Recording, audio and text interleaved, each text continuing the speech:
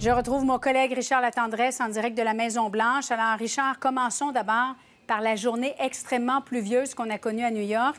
Et la métropole américaine a été très Mhm. vite paralysée.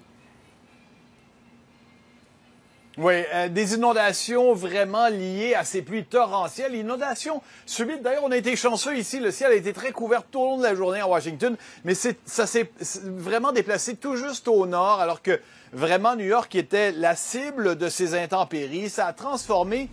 Mais vraiment, Julie, tout ce qu'on peut imaginer là, au cœur de Manhattan, euh, des rues, euh, des ruelles, des escaliers, en petites rivières, en mini-torrents. Et puis, du coup, puisqu'on est à New York, hein, on, s'est retrouvé avec euh, des poubelles un peu partout, des poubelles flottantes. Euh, tout ça était tellement grave qu'on en est venu littéralement du côté de la gouverneure à devoir décréter l'état d'urgence.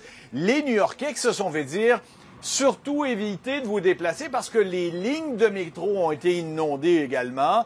Sauf que l'avertissement était quand même à demi-teinte pour ceux qui vivent dans des euh, sous-sols et demi-sous-sols parce que euh, les risques d'inondation euh, de ce côté-là étaient importants. Des vols ont été annulés aux aéroports de JFK et de LaGuardia.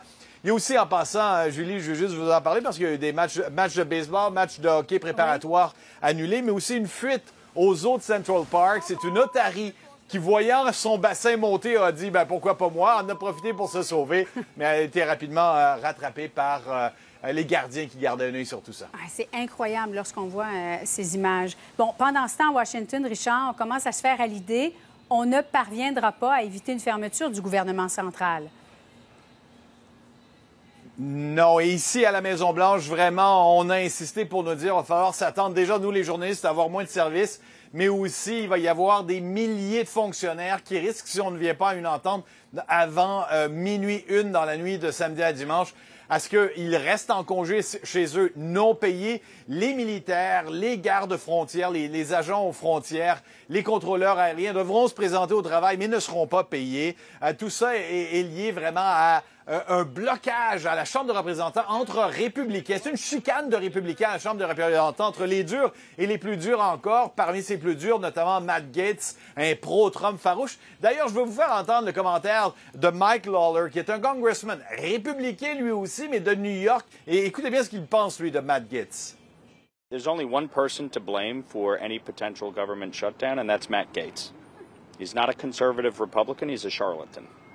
And as far as I'm concerned, when you're working with Democrats to try to vacate the Speaker, you're a joke.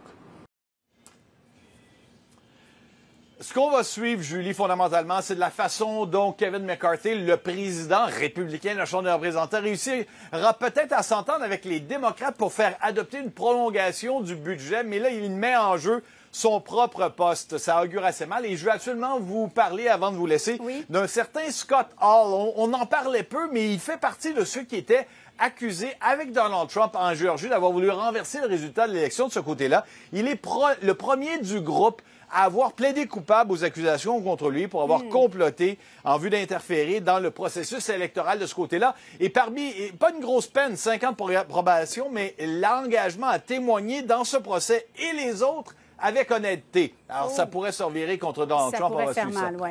Merci, Richard.